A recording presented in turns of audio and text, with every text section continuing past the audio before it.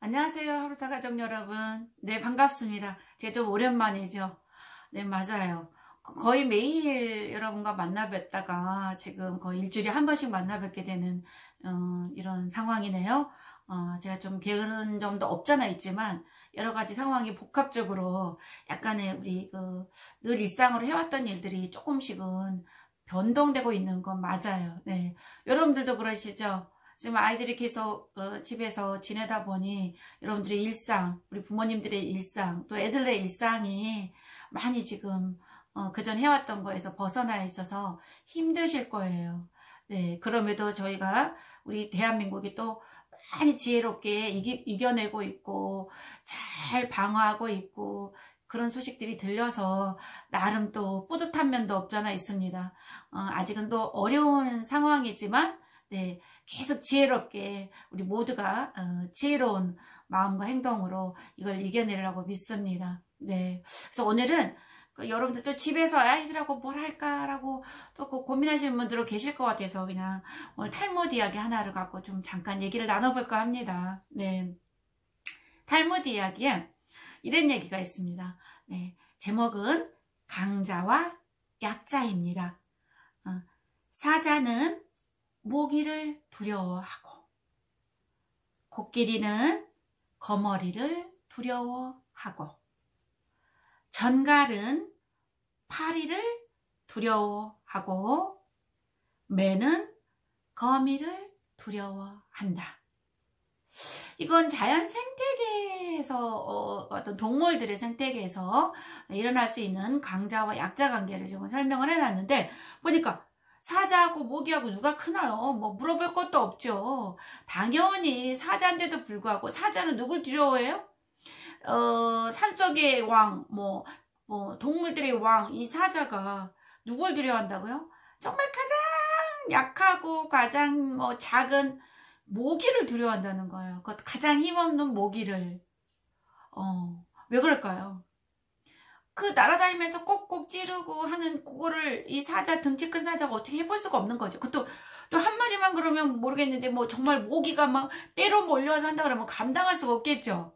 네, 어떤 그 동물과 힘으로 싸운다 그러면 사자가 물론 이겨내겠죠. 그런데 이 날아다니는 그 모기로 뭐 어떻게 해볼 수가 없는 거죠. 어. 네, 그렇게 커다란 사자, 힘 있는 사자, 아주 포효하고 모든 짐승을 장악하는 사자가 그 가냘픈 모기를 두려워한다는 사실이에요. 네. 코끼리는 또 어떻고요? 코끼리는? 코끼리는 뭘 두려워한다고요? 거머리를 두려워한다고요. 코끼리가 어때요? 어, 물론 다리는 있지만 거머리들이 이렇게 그 다리에 붙어서 안 떨어지면 방법이 없는 거죠.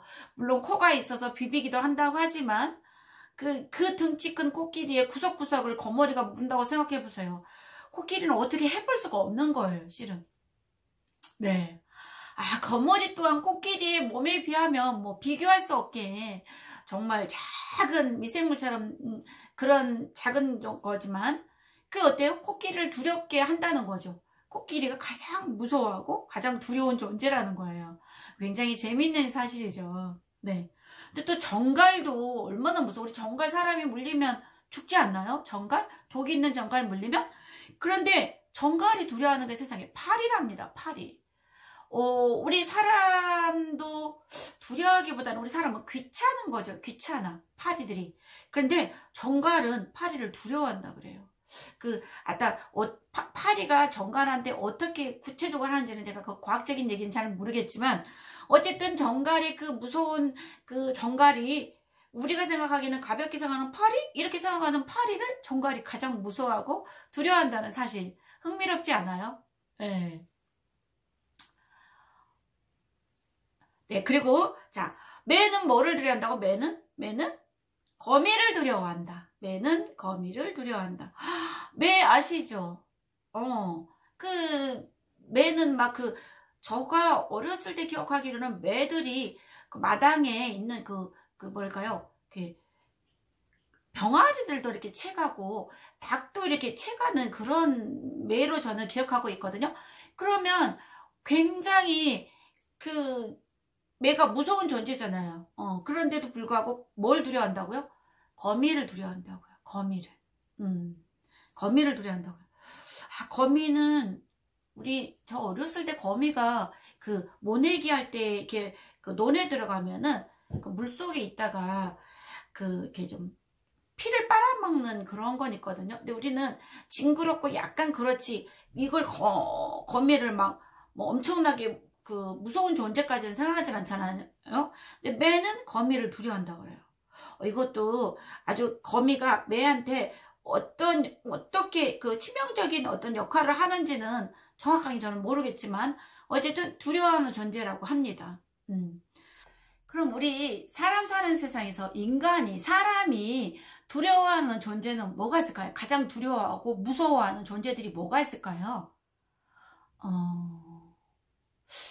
지금 한창 이 지금 이 코로나 19가 지금 그 지금 세상을 두렵하고 있잖아요.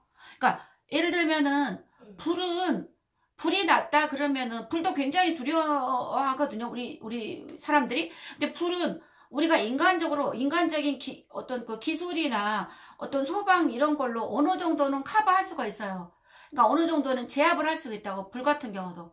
그리고 지난번에 예를 들어서 그 지진 같은 경우도 전 세계가 막 한꺼번에 지진이 동시에 일어나는 건 아니잖아요. 그죠?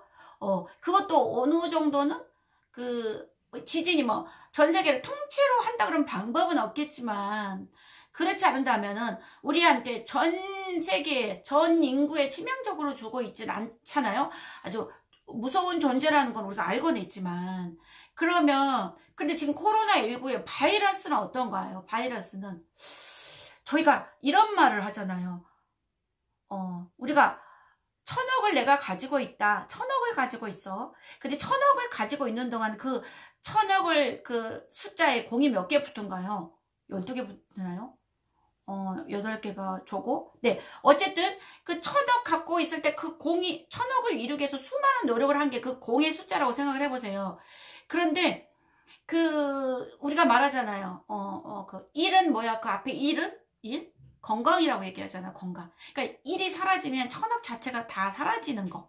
그러니까 예를 들면은 지금 우리가 이 모든 지구상의 모든 걸 건설하고 모든 걸 만들어 놓고 뭐 인공지능이니 뭐 달나라를 가니 뭐 새로운 행성을 개발을 하니 어마어마한 기술의 단계까지 와 있는 건 사실이잖아요.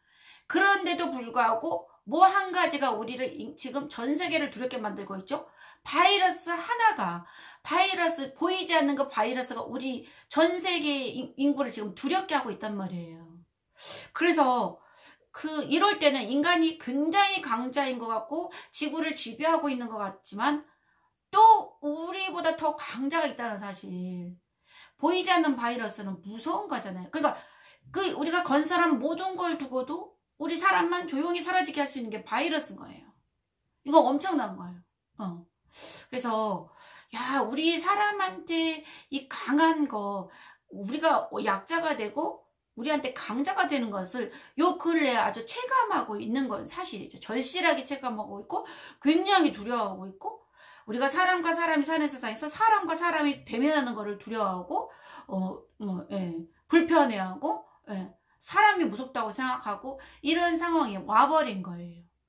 그래서 요즘에 들어와서 어, 우리 애는 인간은 약자고 지금의 인간에게 가장 강자는 코로나19 바이러스 같다는 생각이 듭니다. 음, 우리가 그 여러 가지 여러 가지들을 그 강자와 약자를 한번 구분하고 생각해 보는 시간들이 어, 필요한 것 같아요.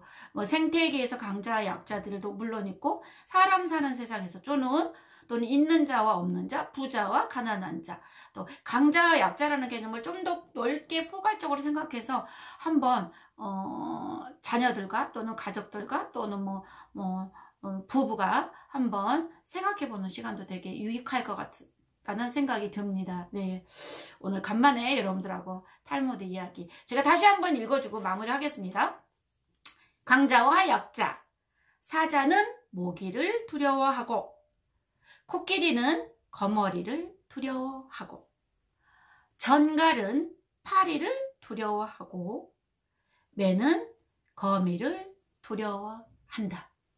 네, 또 좋은 내용으로 다음 시간에 뵙겠습니다. 감사합니다.